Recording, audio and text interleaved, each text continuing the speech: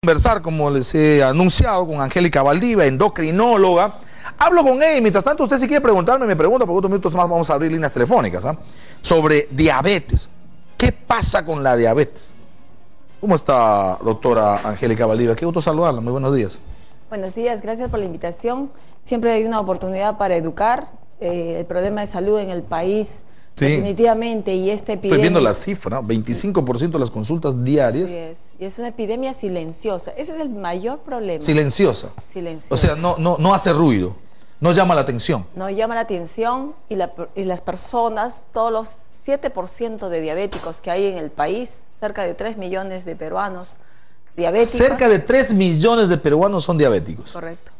Sin contar que este último estudio que se hizo en el 2012, que se llama el Perudiat, no convocó a los menores de 25 años, porque este es mm. mayores de 25 años. O sea, hay un sesgo en esta data, porque no Y según la clínica, ¿qué cosa dice en, esa, en, ese, en, en ese marco? De definitivamente, yo, también hay. definitivamente estamos al borde de México y Brasil. Definitivamente. O sea, mal mal, estamos muy mal y, se nos viene peor porque la obesidad... O sea, por ejemplo, estamos aumentando diabetes infantil. Totalmente. La diabetes, en obesidad, eh, la diabetes y obesidad en niños y adolescentes era muy raro verlo hasta hace 10 años. Hoy en día es muy frecuente ver la famosa acantosis nigrica, que es la coloración oscura en la parte posterior del cuello.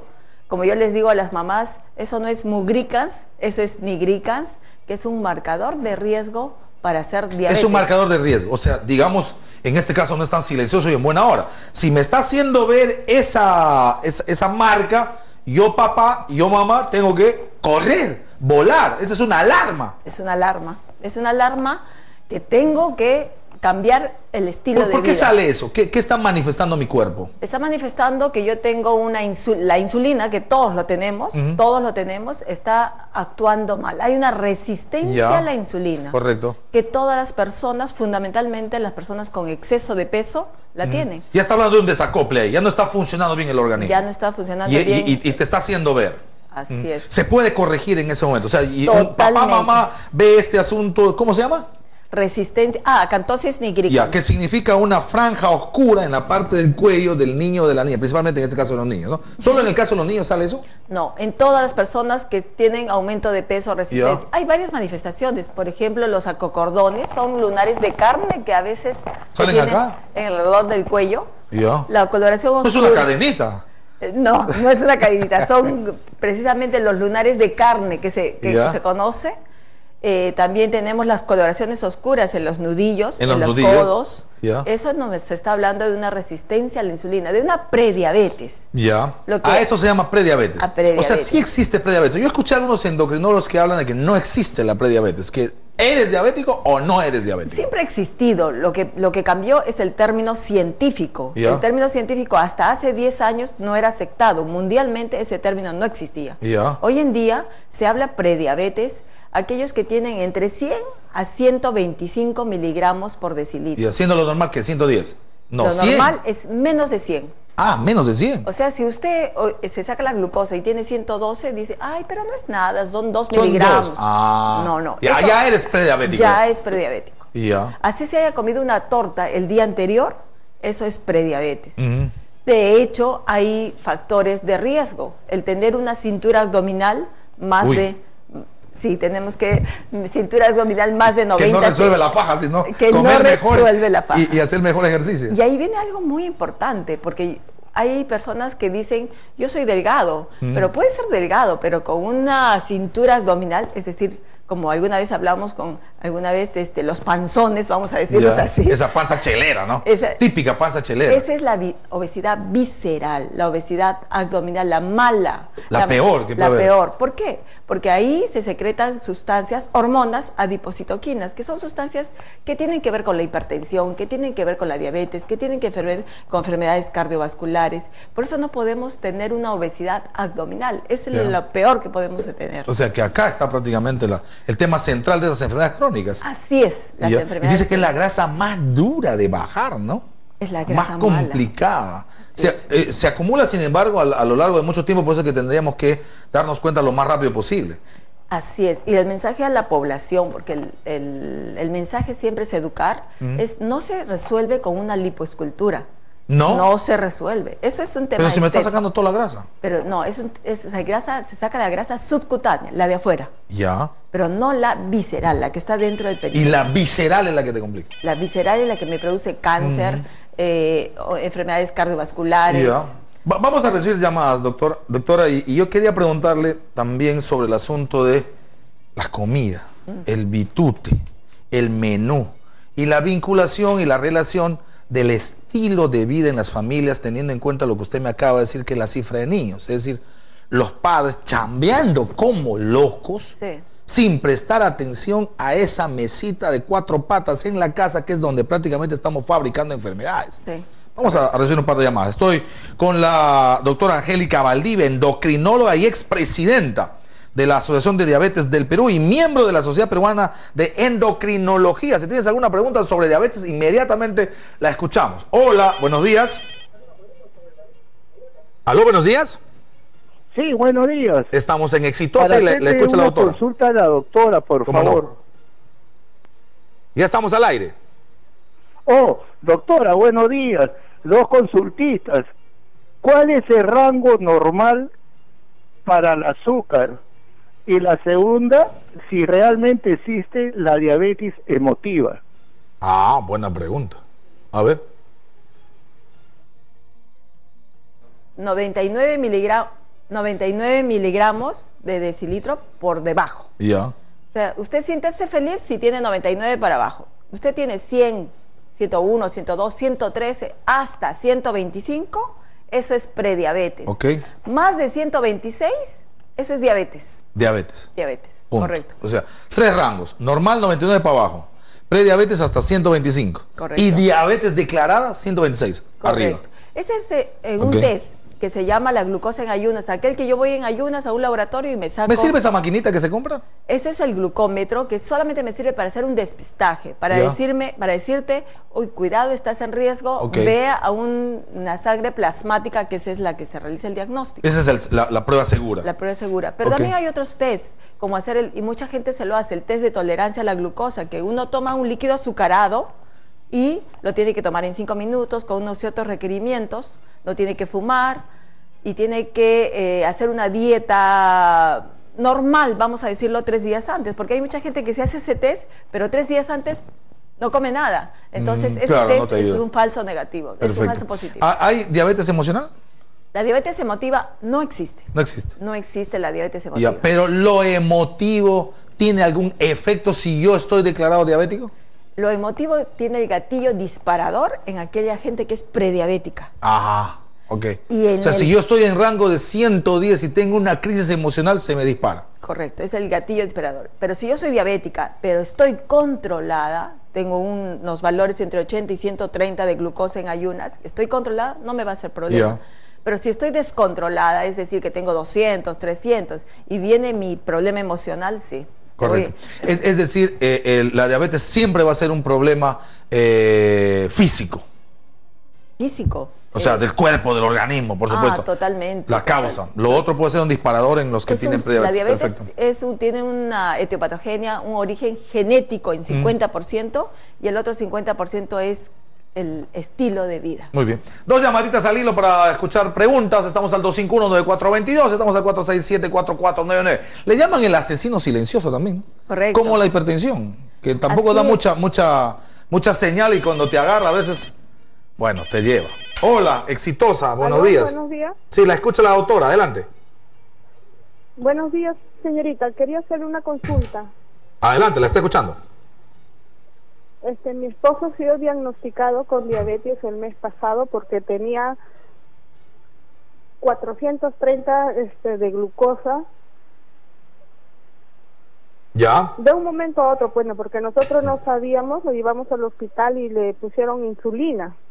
Entonces ahora él está tomando metformina de 850 con silverclamicina. Entonces quería saber qué efectos, una vez al día, qué efectos tiene la metformina. Perfecto. Eh, Lo importante cuando uno tiene un debut de diabetes es educar, señora. O sea, usted tiene que aprender a comer, no tiene que eh, comer azúcar como tal, disminuir la ración de, de comida y fundamentalmente hacer ejercicio, caminata, bailar, nadar, fundamentalmente hacer ejercicio. Lo ideal es usar insulina de inicio para bajar todos estos síntomas que usted ha tenido. Es altísimo. ¿no? Altísimo. Bajar este, la mucha orina que ha estado presentando, que se llama poliuria, la Ya. mucha sed, que es polidixia, la pérdida de peso, con seguridad ha bajado más de 5 kilos. ¿Eso es automático? Eso es automático y es más profundo cuando pues estamos 3, 4 meses, ¿no? Hay pacientes que bajan 20 kilos. Pero puede ser que descubra que soy diabético con 430. ¿eh? Ahí viene el tema de la prevención. La importante... ¿Esto la me impor- puede dar una com- un coma diabético? Un coma diabético, así es. La importancia de hacerse el chequeo anual, Ya. tengamos o no tengamos síntomas. ¿A partir de una edad determinada? Hoy en día, de hecho, hay que mirar factores de riesgo. Antes eran mayores de 40 Claro, años. digamos, si, si, si tu mamá y tu papá han sido diabéticos, estás pero candidatazo, candidato. Y si tengo una cintura abdominal más de 80 como ¿no? mujer. Es el candidato ganador ya. O tengo los triglicéridos más de 150. Campeón. El, y el HDL, que es el colesterol bueno, menos de 40. Ujú. Sie- siempre tengo la duda, ¿cómo mejorar el colesterol bueno? Sí, es una pregunta súper importante. Hay dos factores con los cuales yo puedo mejorar. Es haciendo ejercicio, eh, haciendo ejercicio diario y comiendo pescado medio kilo diario, lo cual es imposible. Es imposible que todos comamos pescado todos los días. Por eso que es importante el ejercicio. De hecho, tener el HDL bajo es un factor genético. También. Sí, Qué complicado. Otra llamada, 251-9422. Estamos hablando de diabetes y conversamos con la doctora Angélica Valdivia, endocrinóloga y expresidenta de la Asociación de Diabetes del Perú, miembro de la Sociedad Peruana de Endocrinología. Hola, buenos días. Doctora Valdivia, buenos días. La escucha. Eh, una consulta. Eh, mire, ¿en qué circunstancias o por qué se puede subir una glucosa en una persona que no es diabético? Y la otra pregunta, si es que eh, no quieres hacerte una prueba y no estás completamente en ayunas o, a veces, o a- haber comido antes en exceso, puede elevar el nivel de glucosa. Ok. Gracias. Ujú. Bien, hay una prueba que yo la puedo hacer sin estar en ayunas, que se llama la hemoglobina glicosilada. Ese, Ya. ese test también me sirve para hacer diagnóstico de diabetes. Más de 6.5%, eso es diabetes, no hay duda. Ya.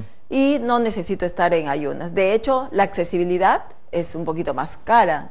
35 soles, 30 o 28 soles según este, cada institución, Ministerio de Salud o Ya, pero O digamos, si, estoy, si, estoy- si no estoy en ayunas, esa prueba me sirve. Así es. Y la siguiente pregunta era... Si existe alguna condición que me dispare el azúcar sin ser diabético, ni prediabético. No, definitivamente hay un factor genético. El 50% es que yo tengo predisposición a ser, a ser diabetes. De hecho, está, si yo tengo el abuelo, la abuela, el papá diabético, pero yo mantengo un, un cambio en estilo de vida, un peso ideal, hago ejercicio, como adecuadamente, ese riesgo se va. Ya, pero, pero yo no soy diabético, tengo 97. ¿Existiría algún factor externo o interno que me dispare como un hipo y luego me vuelva a la normalidad No. sin que eso signifique que yo sea diabético, ni vaya a ser diabético mañana? No, eso no existe. No existe, O sea, cuando hay diabetes, pregunta, la sé. diabetes no se cura. Ya, no se cura. Mm, La diabetes no se cura. Eso es importante que la comunidad lo sepa. Ahora, eh, la diabetes gestacional. Ah, interesante. ¿Es un aviso, es una advertencia o es definitivamente una lápida en el sentido de que vas a tener de todas maneras? No, definitivamente es un riesgo que después del embarazo yo pueda quedar con diabetes este, tipo 2, en este caso Ya. ya, sería, ¿no? Pero si hay mucha gente que solamente presenta la diabetes durante el embarazo, eso se llama diabetes gestacional, y por lo tanto tengo que cuidarme. Porque Es una advertencia. Es una advertencia. Ahora, efectos en el niño, en el eh, eh, del vientre, en De una hecho, diabetes gestacional. de hecho, bajos eh, niños con sobrepeso o niños este, con bajo peso al nacer y- va a tener una también Correcto. cuidado. Eh, el efecto de las comidas nuestras. Definitivamente, definitivamente, pues no hay plato peruano que no tenga arroz. Qué complicado. Qué complicado, Sí, sí. pero hay que saber. El otro día le veía a Batres en un tema así, ¿no? Papa, arroz. Sí, sí, mira, mira en mi tierra cómo comemos, ¿ah? No, no es ninguna ofensa, yo vez- como, como- como así. En la selva, a ver, nuestro arroz nuestro tallarín, El plátano en la nuestro selva. frijol y un plátano, pues, pero Sí, sí, sí. un inguiri que, Dios mío, parece mi pierna. Tú te has metido como 5 kilos de harina, pues, sin ninguna duda. Lo importante es saber racionar. Eso es lo importante. Y cuando estamos comiendo, en, en serio, en serio, yo estoy comiendo mi tallarín y tengo que pedir mi plátano, no se falta el plátano, falta el inguiri. Pero Costumbre, cultura. Pero eso nos está haciendo mucho daño, eh, sin ninguna duda.